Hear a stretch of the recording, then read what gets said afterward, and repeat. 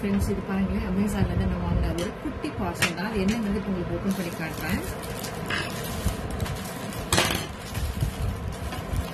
பிரிக்கும் போது பார்த்து பிரிங்க. சம்டைம்ஸ் வந்து கரெக்டாக கவர் வந்து சீல் பண்ணியிருப்பாங்க நம்ம பிரிக்கிற ப்ராடக்ட் வந்து டேமேஜ் ஆகிடக்கூடாதுல்ல ஸோ அதனால என்னங்கிறது லைட்டாக ஓப்பன் பண்ணி பார்த்துட்டு பிரிங்க.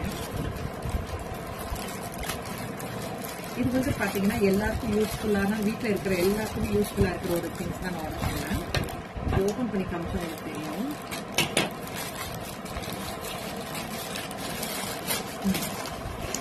இது பார்த்தீங்கன்னா இந்த மாதிரி அயன் பண்ணுவோம் பார்த்தீங்களா?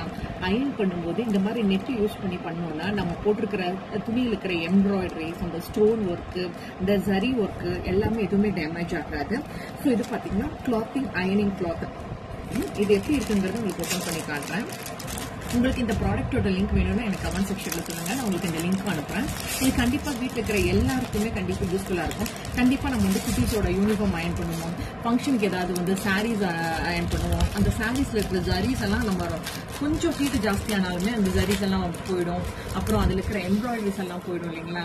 அப்படி போகாமல் இருக்கிறதுக்கு இந்த மாதிரி ஒரு நெட்டை வாங்கி வச்சுக்கிட்டு நீங்கள் சாரியை கீழே பிளேஸ் பண்ணிவிட்டு அது மேலே நெட்டு போட்டு பண்ணிங்கன்னா உங்களுக்கு அந்த எதுவுமே டேமேஜ் ஆகாது. அந்த எம்ப்ராய்டரி இந்த ஜரி ஒர்க் இதில் இந்த மாதிரி எதுவுமே டேமேஜ் ஆகாது. இது பார்த்தீங்கன்னா ஒரு நெட்டு தான்.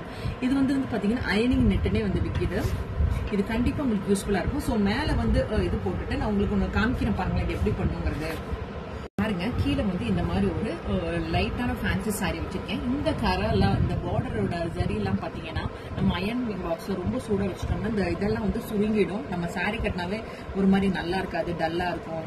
ஒரு மாதிரி பழைய சாரி மாதிரி இருக்கும் இல்லைங்களா? அந்த மாதிரி இல்லாமல் இருக்கிறதுக்கு இந்த ஜரியை வந்து நம்ம நீட்டாக ப்ரொடெக்ட் பண்றதுக்கு மேல கீழே வந்து நம்ம துணி ஆஸ் வச்சுக்கிட்டு மேலே இந்த மாதிரி இந்த நெட்டட் கிளாத் வச்சுட்டு நீங்க அயன் பண்ணீங்கன்னா உங்களுக்கு கண்டிப்பா யூஸ்ஃபுல்லா இருக்கும். இந்த ப்ராடக்ட் கண்டிப்பா உங்களுக்கு எல்லா வீட்டுக்கும் யூஸ்ஃபுல்லா இருக்கும்ன்றதுனால இந்த வீடியோ உங்களோட ஷேர் பண்ணுறேன் ஃப்ரெண்ட்ஸ்